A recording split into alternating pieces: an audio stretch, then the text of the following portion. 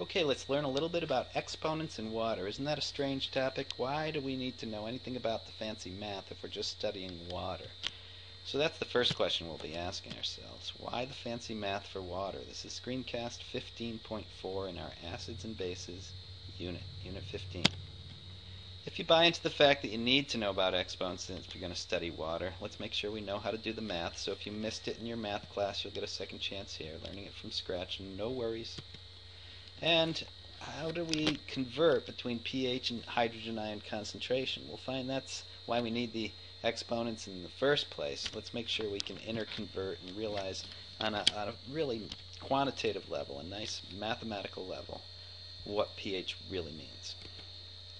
Okay, we need to do a little remedial math.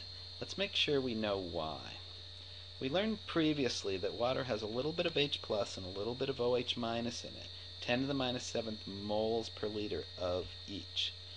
There's no exponents that are really needed for the math there. I guess you would still have to know how to multiply those numbers, but don't forget somebody just said let's call that solution pH 7. So we're converting that exponent to a whole number. So let's make sure we know how to do it. 10 to the minus 7th times 10 to the minus 7th is 10 to the minus 14th.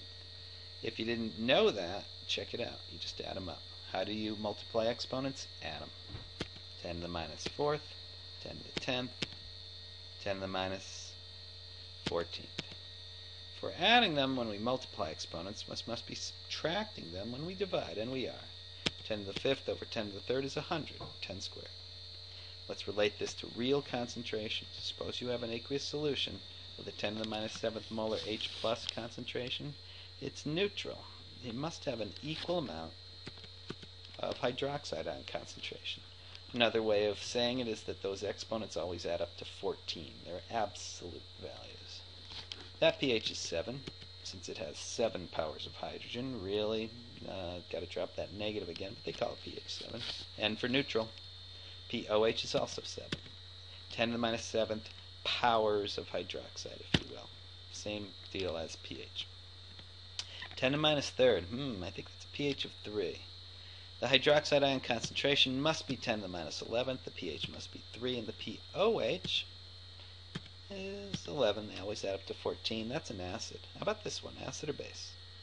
Well, must be 10 to the minus 9th for the powers of hydroxide. pH must be 5, which is an acid. And POH is 9. There you go. Finally, for this solution, that's a very low concentration of hydrogen ions. So POH must be 10 to the minus 1 moles per liter. They add up to 14. The pH is 13. That's a strong base. Powers of hydroxide is simply 1. And that's how we do some exponents when we're studying water.